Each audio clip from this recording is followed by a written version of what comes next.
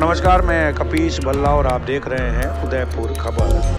उदयपुर नगर निगम में नए आयुक्त के पदासीन होने के साथ ही उदयपुर शहर में रहने वाले उन लोगों के मध्य कोतूहल का विषय बन गया है, जो किसी न किसी राजनीतिक रसूखदार का सहयोग प्राप्त कर अपने अवैध निर्माण को बचाए रखने का कार्य करते नज़र आ रहे थे। लेकिन देखने वाला विषय यह है कि नवीन आयोग के पदासीन होने के साथ ही लगातार उदयपुर शहर के अवैध निर्माण करने वाले लोगों पर निगम का अतिक्रमण दस्ता एक के बाद एक कार्रवाई को अंजाम दे रहा है।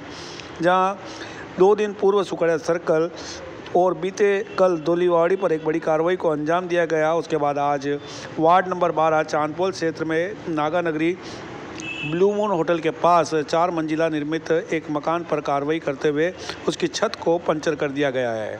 कार्रवाई के दौरान निगम अतिक्रमण दस्ते में संदीप दादीज विजय कुमार जैन, राहुल मीणा के साथ ही संबंधित थाना जवान और होमगार्ड के जवान तैनात रहे।